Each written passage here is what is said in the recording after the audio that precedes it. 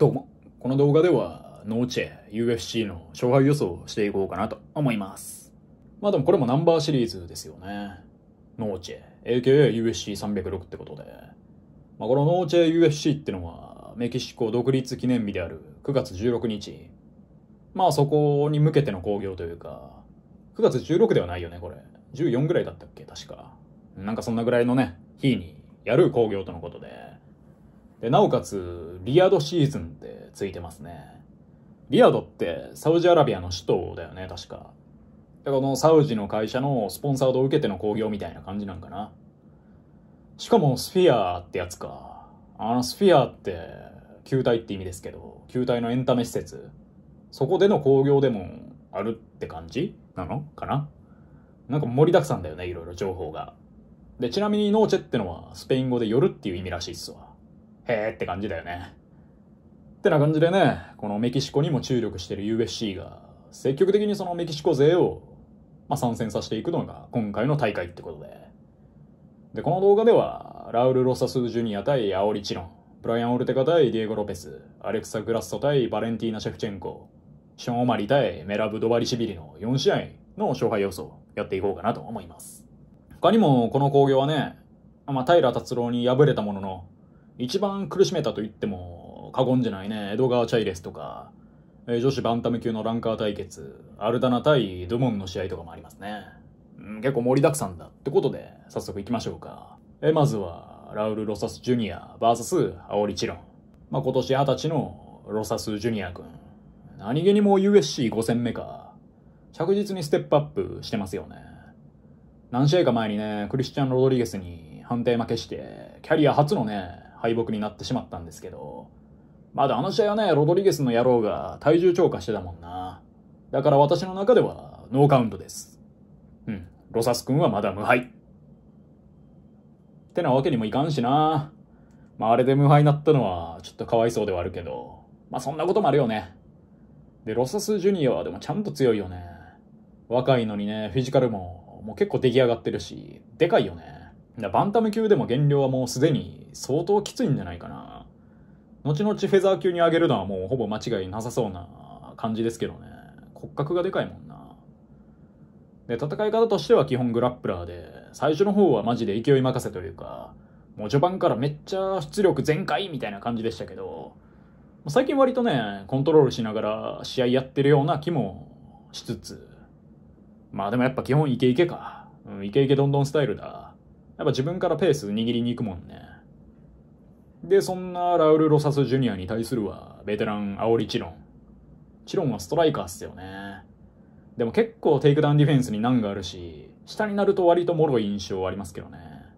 サンダーベースの選手なんかね、やっぱ中国人にありがちな。まあ、パンチ重いストライカー。でもあんまりテイクダウンディフェンスも強くない感じっていう。でもフライ級からバンタム級に上げてからはね、勝ち越してるんですよね。だ階級上げて、うまくはまった感じの選手で。で、前線はでもね、何だったっけななんていう選手と戦ったか、ちょっと名前忘れちゃったんですけど、え飛び膝にね、前蹴り合わされて、チロンが飛び膝行ったところに前蹴り合わされて、で、それが思いっきりポコチンに入って、で、痛いんごってなって、ノーコンテストになったって感じの試合でしたよね。まあ、チロン的にはね、完全に内容的に負けてる試合だったんで、まあ、結果オーライというか、ノーコンテストで、そんな感じですかね。で、これね、まあ、ロサスジュニアが普通に持っていくんじゃないかなと思いますけどね。チロンもパンチがあるんで、それ先に当てればわかんないですけど、ロサスジュニアの組みは回避できないっしょ。うん、テイクダウンされて、普通に決められてしまう気がするけどね。バックチョークかな。うん、ロサスジュニアが徐々に圧かけて、テイクダウンして、そのままバックついて、バックチョークだ。だこの試合はロサスジュニア、1ラウンド、一本勝ち予想でいきます。で、続きまして、ブライアン・オルテガ、VS ディエゴ・ロペス。これね、本当は USC303 とかで組まれてたんかな。でもオルテガが試合当日というか、風邪をひいたのか、何だったか、病気だったか、なんか忘れましたけど、出れねえよってなって、で、急遽ね、ダン・イゲさんがやってきて、で、悪くないパフォーマンスでしたけど、ロペスが勝ち切ったみたいな、そんな感じの試合でしたよね。で、そっからね、もう一回組まれたわけですよね。ブライアン・オルテガ対ディエゴ・ロペス。ロペスからすると変わらずね、上位勢とやれるチャンスっすよね。まだロペスも12位とかですもんね、ランキング。でもここまでのね、快進撃は素晴らしくて、ソディック・ユサフぶっ飛ばした時はね、すげえなと思いましたね、本当うん、あの試合もね、まあ、勝つかなと思ってたんですけど、ほんまに勝ったわ、みたいな感じで。で、オルテガといえば、前線ヤイル・ロドリゲス戦か、試合開始直前にね、まあ、自分のコーナー前でぴょんぴょんしてたら、思いっきりぐねってましたよね。だ今回もね、試合前にぴょんぴょんしてぐねるのか、ぜひ注目しましょう。で、この試合はどっちもね、柔術バックボーン同士の戦いなんかな。で、ボクシングもお互いうまい。だ柔術ボクシングみたいな感じっすよね、二人とも。どうでしょう。ロペスが持っていきそうな予感もしますけど、オルテガもね、別にそんな衰えたおっさんってわけでもないからな。普通に年齢そんな変わんないよね、実は。まあ、問題ないのかな。で、そもそもオルテガはやっぱ現段階ではロペスの上位互換みたいな雰囲気もあるし、うん、ヤイリ・ロドリゲス戦もね、序盤めちゃくちゃパンチもらってピンチだったけど、結局決めて勝ったもんな。で、俺レスリングでオルテガが勝る気がするんだけどね。どっちもボクシングうまいし、まあ、打撃ではロペスの方が上回るような気もするけど、結局オルテカが組んでって、そこで勝つ気がするよね。でも決めんのは難しい気がするな。だからオルテガ判定勝ち予想ですかね。まあ、決めてフィニッシュする可能性もありそうですけど、オルテガがよりうまく打撃と組を混ぜて、コントロールして勝つんじゃないかなと。てか、オルテガはね、前の USC303 のタイミングでは、ライト級に上げるみたいなことを言ってた記憶があるんですけど、それやめちゃったんかなフェザーでやるんかなもったいないよねだってランキング3位だしもう一回フェザーで王座挑戦狙えばええやんと思いつつ、まあ、減量が想像以上にきついのかもしれませんな。知らんけど。で続きましてアレクサ・グラッソ VS バレンティーナ・シェフチェンコ3これねタフのコーチ対決でもあり3度目の戦いか。まあタフといえばねコーチ対決が最後にあるのでおなじみですけど。マクレーガー対チャンドラーはできる日が来るのって思いますけどね。本当に。まあでもこのチャンドラーの悲運に関してはね、後で話すか。一旦だからグラッソ対シェフチェンコについて話しましょう。まあタフではね、チームグラッソは、なんだろう、真面目コーチグラッソのチームみたいな。一方チームシェフチェンコは飴とムチを使い分ける軍隊みたいな。なんかそんな感じのチームでしたね、お互い。色が全然違って面白かったよね。でもこの二人の関係性はね、まあ男子フライ級でいうフィゲイレード、モレノみたいなもんですよね。だってこれ今回シェフチェンコ姉さんが勝つようなら、もう4回目の対戦も不可避だよね、これ。1回目はグラッソが一瞬の隙をついてバックチョークで決めて、で、2戦目はもう完全にドロー。48対47、47対47、で、47対48の人がいて、1対1対1っていう、完全ドローでしたよね。ジャッジ全員違うスコアつけてるっていう。で、この試合もね、最後確か5ラウンド目、シェフチェンコ姉さんが、テイクダウンで投げで取ろうとしたんかな。その時ミスってバックつかれて、で、最後バックでコントロールされて5ラウンド目落として、で、そのラウンドをなぜかね、10対8つけるクソレフリーがいたせいで、ドローになってもうて、でも1戦目の時もね、バックスピンキックの流れでバック疲れて、バックチョーク決められたんでね、2試合連続なんか自分のミスで決勝点を与えてる感ありましたよね、シェフチェンコ姉さん。まあ、ドローでも王者からすれば、もう防衛は成功ってことになるしね。だ今回この正念場の3回目、どうなるのか。まあ、ここグラッソが勝つようなら、もう終わりだよね、二人の物語は。2勝1分けになるしね。で、その次は、おそらくグラッソちゃんは、ブランチフィールドとの上位勢対決を制したピオロさんとやるんかな。ピオロ強かったよね。あの、塩ボクシング。塩打撃。打撃の塩漬けですよね。超つまんない試合やりそうですけど、グラッソと組まれても。まあでも彼女が今、次の挑戦者筆頭っすよね。俺たちのね、ブランチちゃんを完封してたもんな。ってな感じの女子フライ級戦線か。まあ、ここはグラッソちゃんがしっかり勝って、4戦目は避けてほしいっていう思いがありつつも、でもシェフチェンコ姉さんに返り咲いてほしいっていう、そう思う私もいるっていうね、複雑な心境。でもここ最近はかつての絶対王者はね、ことごとく返り咲きに失敗してるイメージもあって、まあ、ウスマン、アデ・サガニャがね、代表格というか、まあ、ことごとくって言ってもそんなもんか。でも去年のセフードもそうか。3年ぶりの復帰戦かつタイトルマッチで返り咲けなかったもんな。でうまくいったのはペレイラにぶっ飛ばされたアデサーニョぐらいか。うん、ぶっ飛ばし返したもんね。ぶっ飛ばし返してベルト取って。でもこの前のディプレス戦には勝てなかったもんな。返り咲くってのは、だから難しいんだろうな。うん、若い方がそら強いもんね。で、グラッソの方が若いもんね。で、前の試合見た感じ、やっぱパンチの殺傷能力はグラッソちゃんの方がだいぶ上回ってる気はするよね。シェフチェンコ姉さんの方がパンチを当ててる回数自体全然多かったと思うんですけど、倒れそうな感じがなかったもんな。一方、グラッソちゃんは打ち合いでフックぶち当ててで、シェフチェンコ姉さんからダウンも取ったし、ただその一方ね、シェフチェンコ姉さんはレスリングで勝ってるっていうね。だから効かされたけど、リカバリーしたし、だからこそ10対8がつかなかったんですよね、あの2ラウンド目は。完全にダウン取られたけど、なんとかしたからね。で、タックルほぼ取れて、テイクダウンまでいけたもんな、どこでも。自分でミスったシーン以外は、スクランブルになっても、基本シェフチェンコ姉さんがグラウンドではいいポジション取れてた印象っすよね。だからこそ難しい。シェフチェンコ姉さんが36歳で、で、グラッソちゃんが31歳か。失礼しました。グラッソちゃんとか言って。年上でした。すいません。まあでも何はともあれね、二人ともビジュアルもレベル高いよね。可愛い系のグラッソさんと、綺麗系のシェフチェンコ姉さん。可愛い系か、綺麗系か。まあこれどっちがいいのかってのはね、古来より幾人もの賢人たちがね、議論重ねてきたわけなんですけど、未だに結論出てないもんな。まあこれ結論を請求に出せって言うならね、そんなもんどっちもええがなってなるしね。そら可愛い系も綺麗系もええわってなるよ。やっぱその可愛い系の人と楽しいね。ふふ、ああ、嫌な時間を過ごすのもよし。綺麗系にね、とことんいじめられるのもよし。ただ逆にね、可愛い系にめっちゃいじめられて、綺麗系を今度はこっちがいじめるってのも、それはそれで楽しいけどねっていうね。って何の話させるんや。まあこの試合はね、グラッソーちゃんかな。打撃と組とバランスよく強いのはシェフチェンコ姉さんでしょうけど、まあ、それでもね、やっぱグラッソちゃんがね、勝つ可能性の方が高そうというか、まあいい感じに進めてても、やっぱどっかで逆転されるんじゃないかなってイメージがあるよね。過去2戦見る感じね。まあ5ラウンドあれば、やっぱどっかでグラッソちゃんがね、チャンスをつかむというか、基本シェフチェンコ姉さんのペースで進んでるように見えても、ワンパンでひっくり返すというかね、なんかワンアクションでひっくり返すみたいなのありそうだもんな。いやでもどうだろうな、これ。前もね、ジャッジ私的には、シェフチェンコ姉さん48対47で勝ってるようにも見えたからな。でも改めて見返すとね、結構シェフチェンコ姉さんが取ったラウンド自体は微妙なんですよね。うん、競ってるし、3ラウンド目か。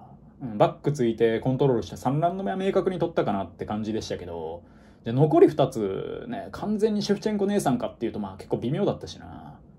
一方、グラッソちゃんが取ったラウンドは、もうどう見てもグラッソちゃんだろって感じだったし、パンチ当てて KO とかも全然ありそうだな。てか、フィニッシュがあるならこれはもうグラッソちゃんだなと思いますよね。だシェフチェンコ姉さんはいかにクリティカルな打撃とか決めをかいくぐってポイントゲームをものにするかみたいな感じで組み立てるしかないんじゃないかな。まあでも微妙な内容だとね、メキシコの独立記念日だし、なんか負けにされそうだしね。あと、シェフチェンコ姉さんはね、パンチじゃなくて、蹴りまくればいいと思うんですけどね。前線の一覧の目とか、左ミドルとかめっちゃ良かったしね。あれ持ってやれば全然違う展開になりそうっすけどね。なんか結構パンチ主体にどんどんなってった感じがして、それでぶち当てられて2ラウンド目にダウン取られたしね。ただリカバリーしたんだよなっていう。だから俺堂々巡りっすよね。全然シェフチェンコ姉さんが勝つ可能性もありそうだけど、でもやっぱ過去2戦どっちもダメージをより与えてるのはグラッソちゃんな気もするしね。いや、どうなんだろうな。でもグラッソちゃんめっちゃパンチもらってるんだよな、言うて。でもなんか倒れなさそうな感じがするだけっていうね、ところで。うん、やっぱグラッソちゃんかな。アレクサ・グラッソ、判定勝ち予想でいきます。で、いよいよメイン、ショーマリー、VS メラブドバリシビリ。これね、とうとう組まれてしまったメラブのバンタム級タイトルマッチ UFC 的に考えるとねこんなもんメラブが勝てば地獄でしょ明らかにねだってオマリーがアルジャメン・スターリング倒した時 UFC 浮かれてたもんな。すぐ試合動画 YouTube にアップしてたし。ようやくねスターがまた舞い降りたぞみたいな感じになった中でメラブに取られたらねいやーってなるでしょうね。でオマリーの前線は因縁の地と相手にね防衛戦をして、まあ、完封勝利っていうところで、そして迎えるのが現在10連勝中のメラブドバリシビリ。10連勝のうちフィニッシュ勝利は驚異の1回。そして唯一フィニッシュした相手も、もう完全にね、耐久性貯金が破綻していたマルロン・モラエス戦のみなんだよなっていうね。まあでも直近3連勝してる相手がね、全員元チャンピオンだもんな。元フェザー級チャンピオン、ジョゼ・アルドニー、元バンタム級チャンピオンのヤンからのセフードっていうね。チャンピオンを3立てしてると、やばいよね。しかもセフード戦はちょっとドン引きしたけどね。オリンピックのゴールドメダリストを持ち上げてたからね。信じられない光景だよね、だって。キックのね、グローリー2階級王者が KO 負けして、オリンピックレスラーが持ち上げられるってのがね、UFC っていう負けをだよね。で、これどうなんでしょうね。オマリーからすると、メラブはね、相性悪いけど、でもそんなに悪くないっていうね、矛盾をはらんだ相手っすよね。やっぱ打撃スキルなら当然のごとくオマリーだし、例えばこれキックボクシングとかボクシングでやらしたら、10回やったらもう10回オマリーが勝つぐらい、そんぐらい打撃スキルは差あると思いますけどね。で、それだけで考えたらもう打ち抜いて終わりじゃんってのはありますけど、ただそこで出てくるのがメラブのね、無限組地獄。あのタックル試行回数と異次元のスタミナ。ピョートルヤン戦でね、もう5ラウンドずっとスタミナが持つのは証明されたもんな。積んでるタンクがもう半端やないというか、やばいよね。だからそこをね、どうするかっすよね、オマリーが。絶対タックルには来るんで、そのタックルへの意識。でもいかにそのタックルを意識しない感じで打撃できるかってところっすよね。勝ち筋としては。やっぱタックルに意識行き過ぎたら、オマリーの手数は消えるでしょうし、まあ、前蹴りとかで距離作るみたいなこともできなくなるでしょう。だからそれがどうなるかっすよね。オマリーはだからいかにそのテイクダウンを意識しないというか、まあ当然意識はするんですけど、意識しすぎずに自分の打撃をするか。で、メラブの方はいかにそれをかいくぐって組んでいくかっすよね。でも結構もらうからな、メラブ。左フックっすよね、モラエス戦も、セフード戦も。それでもらってぐらついてたしな、どっちも。やっぱでもメラブからしても、オマリーがフレッシュな状態の1ラウンド目とか、特に怖いんじゃないですかね。不用意に距離は詰めない気がする、1ラウンド目とか。まあだから基本戦としてはやっぱり距離作って、自分のリズムで打撃戦をやりたいオマリーと、詰めてもグランドゲームに持ち込みたいメラブっすよね。お互い狙いは明確。どっちが自分のフィールドに持っていけるのかっていう、もうそれ次第の一戦だよね。まあでも私はオマリーかなと思うんですけどね。やっぱ、アルジョ戦もそうだけど、この前のチト戦もそうか。打撃スキルちょっと異次元だなって思いますけどね。何なんですかね、あの感じ。相手に当てるのを悟らせないというか、なんていうの？気配を消したパンチというか、説明が難しいな。気づいた時にはもう当たってるみたいな感じ。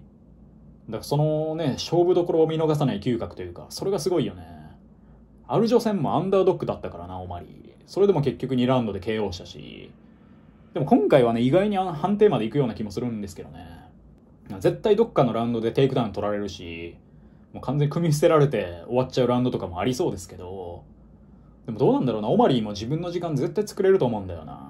でけえし、基本打撃の打ち下ろしになるし、で飛び膝とかもね、メラブには刺さりそうですけどね。だそういうのでダメージ取って、なんとか逃げ切るんじゃないかなと、私は踏んでますけどね。だからこの試合はオマリー、判定勝ち予想でいきます。まあ、オマリーが勝つなら KO だと見せかけてね、判定っていうね、なんかそんなパターンの試合になるんじゃないかなというか、なんかね、スプリット判定とかで勝つ気がしてるんですけどね。ってな感じでね、この動画では、ノーチェ、USC、まあ、USC306 の勝敗予想をやってみました。まあ、グラッソちゃんとシェフチェンコ姉ちゃんの物語は完結するのか、そしてオマリーは難敵メラブを退けられるのか、まあ、オマリーは特にここ買ってくれんとな、次控えてるのウマルだし、まあ、買っても地獄なんですけど、それでもやっぱりチャンピオンとしてウマルを迎え撃つのは、オマリーの方がおもろいよね。そっちの方が断然見たい。まあ、メラブ対ウマルも見たいんですけど、でもより見たいのはやっぱ、オマリー対ウマルかな。やっぱりなんかマクレガー対ハビブの再来というか、マクレガーの後継者オマリー、ハビブの後継者ウマルみたいな。まあ、階級違うけど、でもそんな構図で盛り上げられるでしょうし、まあ、オマリーもウマルもね、その二人ほど気性荒い感じはしないですけど、まあ、やっぱ控えめだよね、二人とも。それでもね、そっちの方が見たいよね。だ、オマリーさん、頑張って。まあ、勝つと思うんだけどね、私の見立てでは。でも、どうなるかは、蓋開けてみんと、わからなんだ。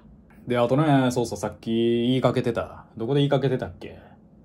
グラッソ対シェフチェンコ姉さんのところで言いかけてた、チャンドラー・マクレガーどうなるのか問題。なんかでも試合なくなったっぽいっすね。もうマクレガーは今年はやらねえみたいな感じになったらしく、もうどないやねんって感じですけどね。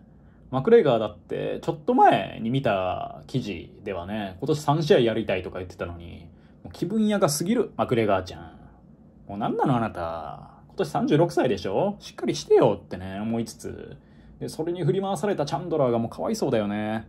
もうだってこうなってくるともう、マクレガーにしがみつくしかもうないやん。お金欲しいし。